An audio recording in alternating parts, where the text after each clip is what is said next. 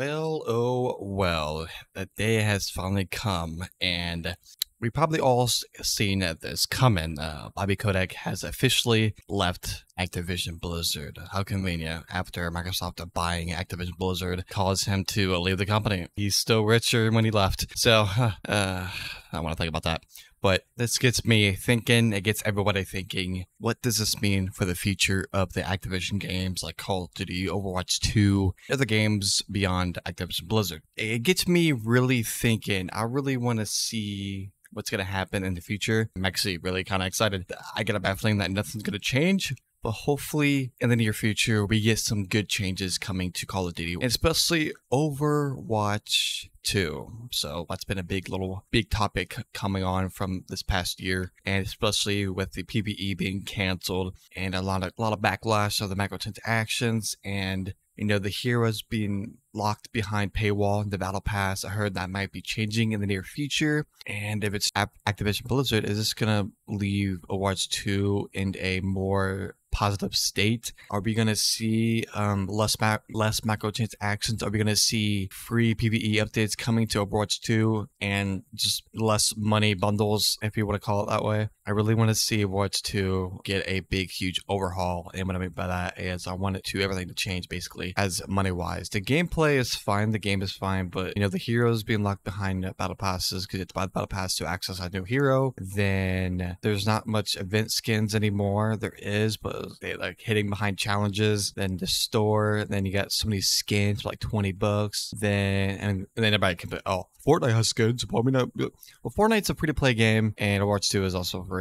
But Fortnite is way different. It's been out for like six to seven years now. I don't want to start comparing games here, but we heard a lot of bad things after Bobby Kotick has left Activision. He they've been getting a lot of ex employees like that have been reaching out saying he threatened to to kill a employee at Activision Blizzard, and it's it's real. I'm not gonna show it in here because I just be really negative but it's it's crazy. After he's leaving, everybody's saying all this stuff because they wouldn't be able to say this in office. It's crazy, guys. As Bobby Kotick leaves Microsoft and Activision for good, and an ex-employee describes how once he treated to have an employee killed, which we talked about this earlier in the video. A former employee makes allegation about Kotick's previous behavior as CEO. Today was CEO's Bobby Kotick's last day at Activision Blizzard after almost 33 years with the company. The stepping down of Bobby Kotick came after the Microsoft acquisition of Activision Blizzard for for $69 billion, which closed in October. Kotick's time at the helm has been shadowed by controversy, and his departure met with a jubilant outpouring on social media. This includes one story shared by a Call of Duty programmer who claims Kotick once threatened to have an employee killed. As foretold in a memo to his staff earlier this December, swooping leadership changes have been made at Activision Blizzard as the company enters 2024 as its first year under the helm of Microsoft, following the 69 billion acquisition acquisition. The most publicized change was the departure of Activision Blizzard CEO and employee of 33 years, Bobby Kotick. Today marked Bobby's last day at the gaming company, and his exit has prompted some former staff to share stories of his tenure. However, these aren't the heartwarming tales of chance encountered by the water cooler. One former programmer has claimed that within a month of their start in a, on a Call of Duty project, Kotick allegedly threatened to have an employee killed, which I've already showed this picture picture previous in this video. Christina at, so at Christina makes this assertion while sharing news of Bobby Kotick's departure from Activision Blizzard. The tweet states, I worked on COD for two years as a programmer. A Demonware Bobby Bobby's decision made our games worse. Demonware, a software development studio known for collaborating with Activision Blizzard, ABK on Call of Duty titles, aid other studios within ABK's. Christina goes into more detail about their experience working with ABK and their tweet in my first month it came out. He threatened to have have an employee killed and all hands that followed. No one wanted to speak first, so I demanded his firing in front of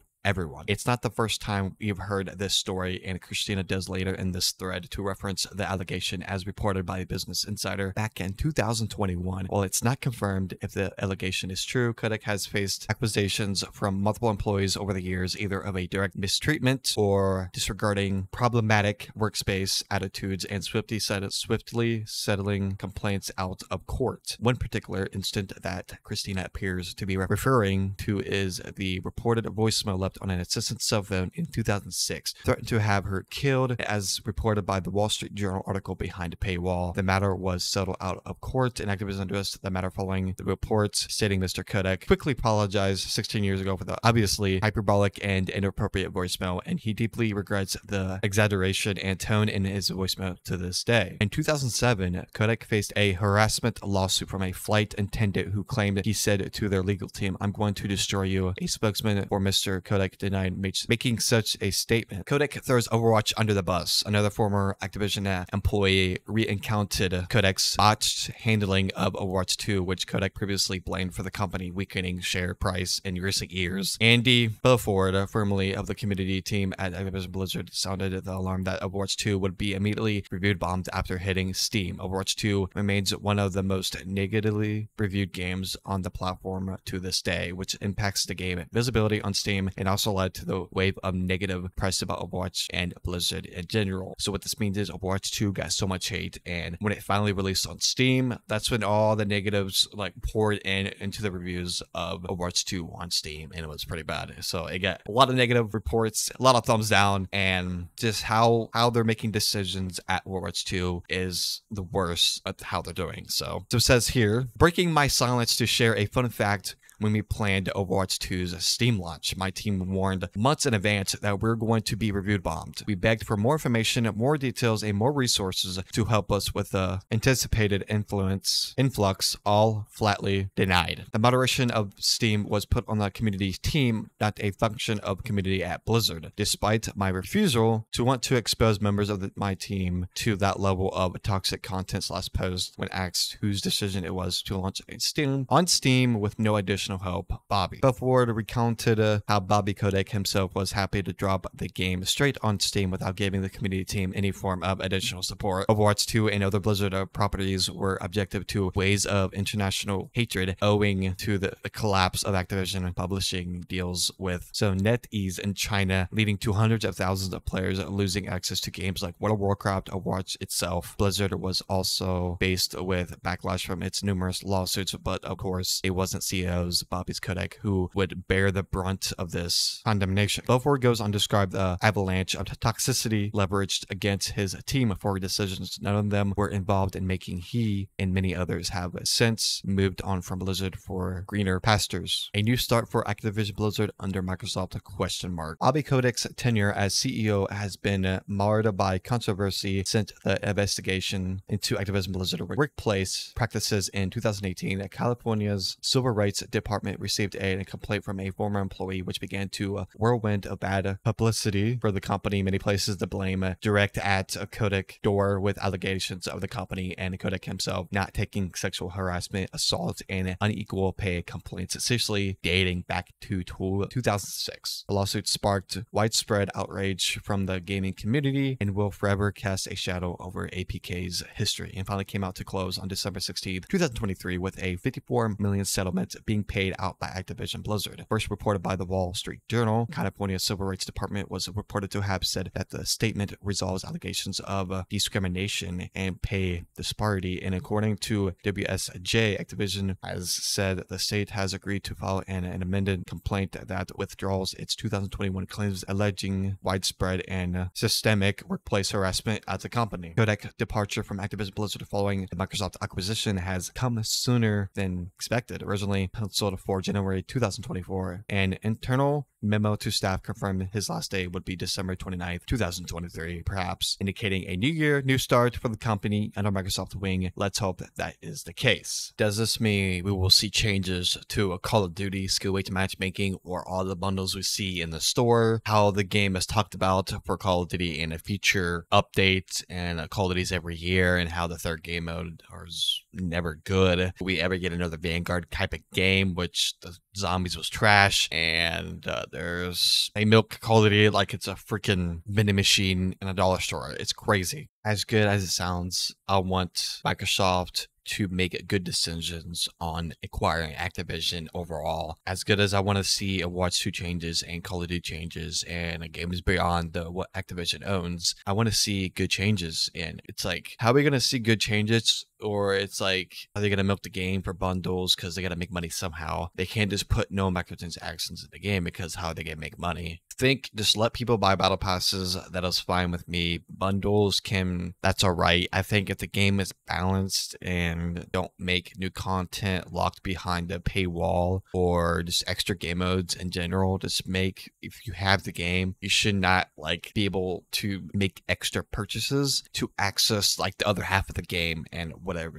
it, you know, whatever it offers you. It's, it's pretty sad to see all these games going that, that route, especially Destiny 2. I just, if you just have if you just bought Destiny 2 alone, well it's free to play now, but if you play a free to play in the Destiny 2, you're pretty much are buying the full game as you're buying the expansions. That's literally off topic, but I, I just hopefully they other companies learn from what hopefully Microsoft is going to do. And I mean, at this point, I could probably say they're not going to do shit. We'll see in the near future. It is 2024. So hopefully, we're probably going to start seeing uh, Call of Duty titles on the Game Pass and really start this deal rolling in and seeing it, seeing it with our own eyes. Hopefully, we make Microsoft make some good decisions. Bobby Kotick is gone. Microsoft owns Activision. This can be a huge thing for the future of games, especially with Call of Duty betas. There's no first for PlayStation 4 anymore or 5. It's all going to be on all platforms.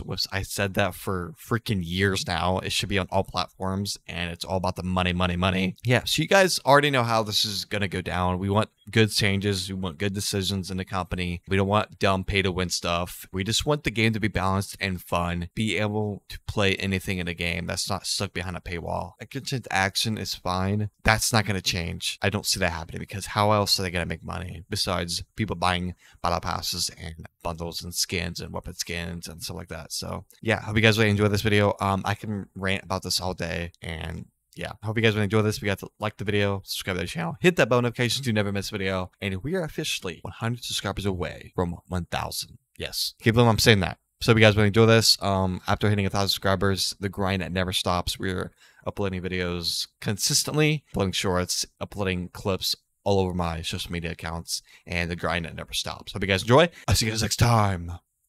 Peace.